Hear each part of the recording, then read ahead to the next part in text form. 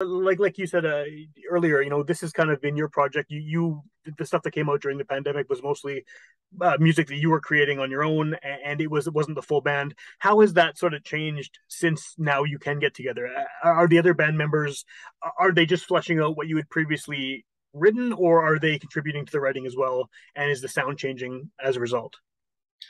Well, I'm I'm still the primary writer for the group, so I, I still write all all the songs. Um, and how that works is I just, uh, you know, I have my my MIDI keyboard and my bass and my drum programming, um, and I I program those things into my my audio workstation, um, and I, I, make arrangements from those songs. Um, but in that form, it's very much like loop based, and yeah. uh, it, it, you know, it's pretty repetitive stuff uh, as far as the parts. Um, so when you bring it to the group, they'll take that existing part and they'll go, okay, so what can I do to make this feel more alive? What can I do to make it more of a, a, a song? And of course, they, they put their own little flairs in there too, like specific, like a specific bend that a saxophone will do on the note, or a, a, a really cool fill that only Paul would think of on the drum, something that right. I would never come up with.